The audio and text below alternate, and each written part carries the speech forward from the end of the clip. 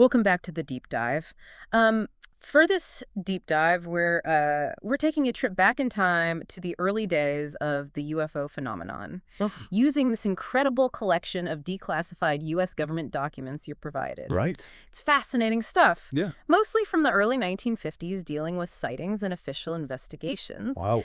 I'm excited to dig in and see what we can uncover. It's a treasure trove of information, that's for sure. Yeah.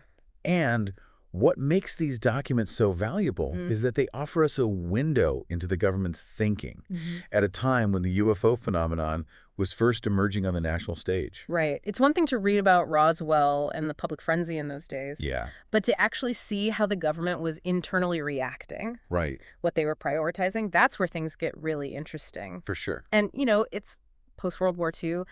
America, the atomic age has just begun. Mhm. The Cold War is simmering. So there's this backdrop of anxiety yes, already permeating society. absolutely. And that context is crucial. Yeah. You can't separate these early UFO investigations from the geopolitical realities of the time. Right. the possibility that these unexplained sightings could be linked to Soviet technology. Oh. That was a major concern for the U.S. military. Makes sense. Yeah. But before we dive into the government's response, let's talk about some of the early sightings themselves. Okay. What kind of reports were they getting? Well, a lot of the early reports, particularly in the late 1940s, Okay. describe these strange, luminous objects, often green in color, Huh. that were being observed primarily over New Mexico. Okay. They were dubbed green fireballs, Okay.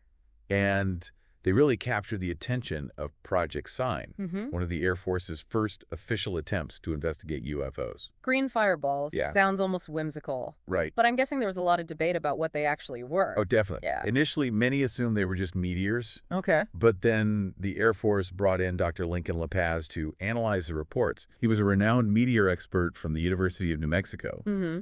and had actually been tasked with investigating the Trinity nuclear test site debris. Oh, wow. So they called in the big guns for this. Yeah, they did. What did Dr. LaPaz make of these green fireballs? His analysis was fascinating. Okay. He concluded that these green fireballs were very unlikely to be meteors. Hmm.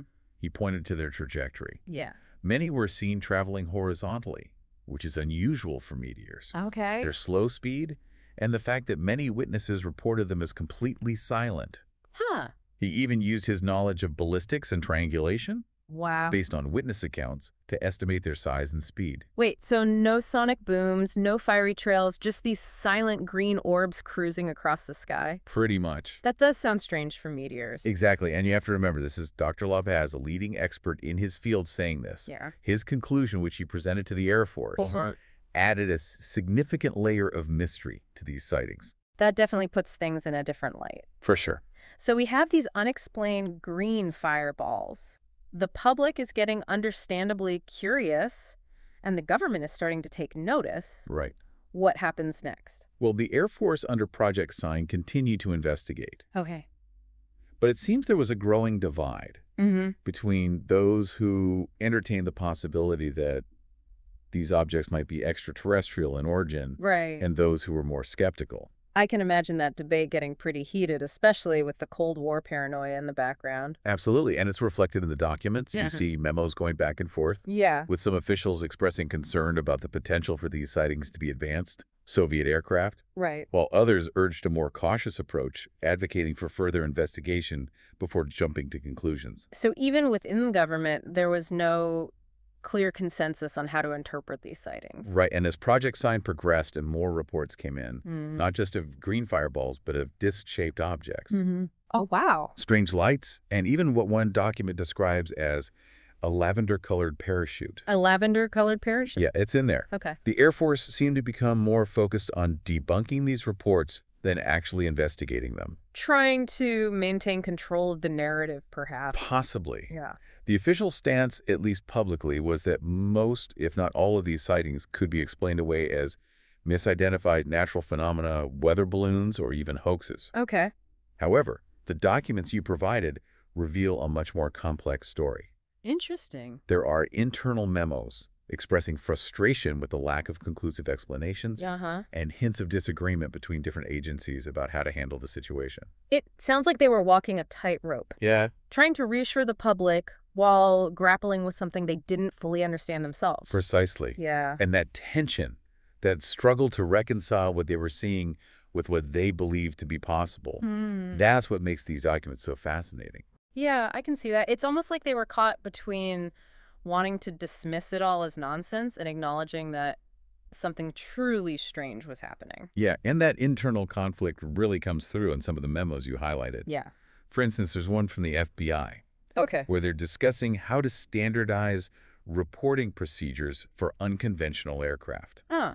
They even debate whether to use the term unconventional aircraft at all because it might legitimize the idea of UFOs. That's fascinating. So Oh. even if they weren't openly admitting to a potential threat, they were definitely creating systems to deal with it. Exactly. And it wasn't just procedural stuff either. Okay. There's a real sense in some of these documents that they were actively trying to understand what was going on, not just brush it under the rug. Mm-hmm. You see this particularly with the reports of electromagnetic interference accompanying some of these sightings. You mean the whole UFOs messing with car engines and radios thing? Right. That always seemed a little far-fetched to me. It does sound like something out of a movie, I'll admit. Yeah.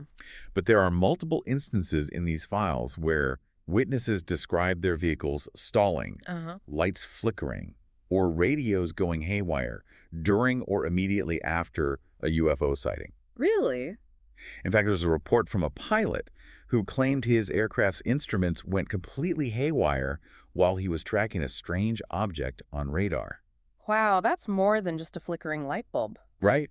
Do they have any theories about what might be causing this interference? Well, that's where things get really intriguing. Okay. Keep in mind, we're talking about the early 1950s here. Yeah. Our understanding of electromagnetic phenomena was still evolving, and many of the technologies we take for granted today simply didn't exist. So they couldn't just chalk it up to some advanced radar system or something like that? Not really. Okay. Some scientists suggested it could be related to atmospheric ionization Uh-huh. caused by the objects themselves, but that was pure speculation. Yeah. The truth is, they were really grasping at straws. Some of the documents even speculate about a potential link to the Soviets' early nuclear testing, which shows just how high the stakes were in their minds. It's like they were trying to fit these square pegs of UFO sightings and weird electromagnetic effects into the round hole of their existing knowledge. A very apt analogy. yeah. And when those pieces didn't fit, they often defaulted to either dismissing the reports as unreliable or attributing them to some unknown natural phenomenon. Okay. But what's really striking is how often that explanation seems to be contradicted by the evidence they themselves were gathering. Can you give me an example? Sure. Hmm. You mentioned the New Haven sighting earlier. Yeah. It's a classic case of multiple credible witnesses, including that police officer, observing this bright spherical object hovering silently for an extended period. Right. Now, the Air Force ultimately dismissed this as a weather balloon, But, but the meteorological data from that day doesn't support that conclusion. okay. And what's even more interesting is that one of the witnesses, uh, a Yale scientist, Oh, wow. claimed to have seen the object through a telescope Interesting. and described it as having a metallic surface with portholes. Portholes. Yeah. That sounds a little too sci-fi even for me. I know it's a detail that really jumps out, Yeah. but whether you believe it or not, the fact that it was documented in an official memo Mm-hmm. suggests that at least some within the government were taking these reports seriously, Right. even if they weren't ready to embrace the most outlandish possibilities. So what about the extraterrestrial hypothesis? Was that ever seriously considered by those in power? That's a question that historians and UFO enthusiasts have been debating for decades. Yeah. Publicly, the government maintained a stance of skepticism, Okay. often framing the whole UFO phenomenon as a product of mass hysteria or Cold War anxieties. Right. But in the documents you shared, you see glimpses of a more nuanced picture. What do you mean? Well, there's a fascinating memo from a high-ranking Air Force official written in 1952. Oh. He expresses his belief that some of these UFO sightings could indeed be extraterrestrial spacecraft. Wow. He even outlines a plan for how the Air Force should approach the issue, Okay. advocating for more scientific study and a greater degree of transparency with the public. That's incredible. And what happened to this plan? Did it gain any traction? Unfortunately, not really. Mm-hmm. The memo seems to have been largely ignored or perhaps even suppressed. Wow. It was only declassified decades later. Wow, that's a real what-if moment in history. It really is. yeah. It makes you wonder how the public might have reacted if the government had been more open to the possibility of extraterrestrial visitation back then. It certainly would have changed the conversation. Right. But even with the government's attempts to downplay the UFO phenomenon, it clearly captured the public's imagination. Absolutely. Yeah. And it wasn't just the mystery and the fear, Right. but also this sense of wonder that we might not be alone in the universe. The documents you provided are full of examples of ordinary people writing letters to the government, really? sharing their own sightings theories, Yeah. and even offering their help in unraveling the mystery. It's like the UFO phenomenon tapped into this primal human need to explore the unknown, Yeah, to push the boundaries of what we believe to be possible. exactly. And that's what continues to fascinate us about this topic even today. Right. It's a reminder that there are still so many unanswered questions out there, so much that we don't know about the universe and our place within it. It's really striking how these documents reveal the human side of this whole UFO saga. You know, it's Mhm. not just about objects in the sky, it's about people wrestling with the unknown, grappling with their beliefs, and trying to make sense of something that challenges their understanding of the world. Yeah, it's true.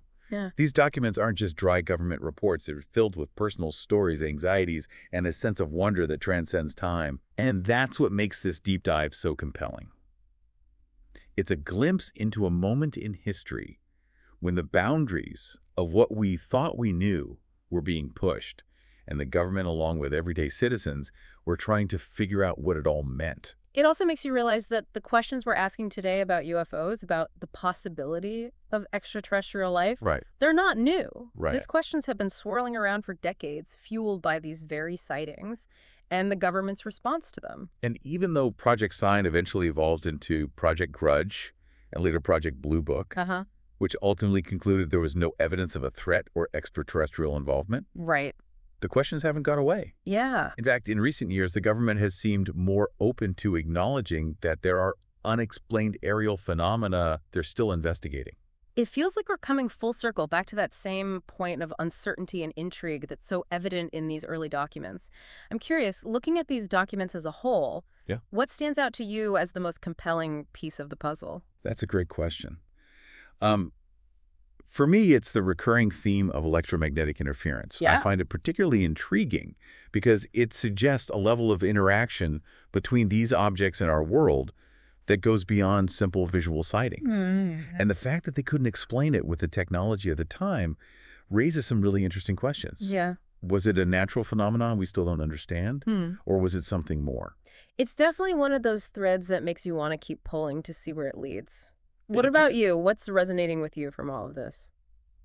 I think for me, it's the sense of possibility that permeates these documents. Yeah. Yes, there's fear and uncertainty, Uh-huh. but there's also a genuine sense of wonder and a desire to understand the unknown. Right. It reminds us that even in the face of something potentially unsettling, human, curiosity can prevail. Right. And that's a powerful message, I think. Absolutely.